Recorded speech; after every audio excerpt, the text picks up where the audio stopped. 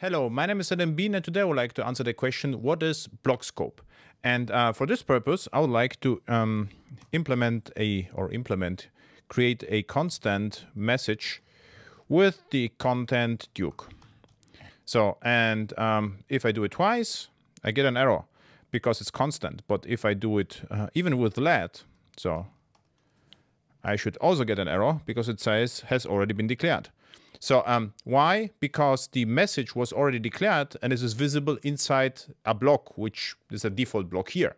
So um, what I could do, I could encapsulate the message in a block, which um, solves the problem because this message, this constant is only visible inside this block, regardless what the block actually is. It could be a for loop, it can be a function, or it could be a switch statement.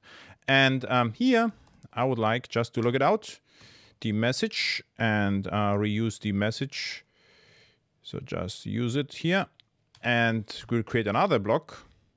And what we should see that these blocks are actually independent. So if we do it um, hello Duke, we should see two independent messages, which is absolutely true. So we have uh, two blocks with two independent variables with the same name, which wouldn't be possible without the blocks because it would lead to an error.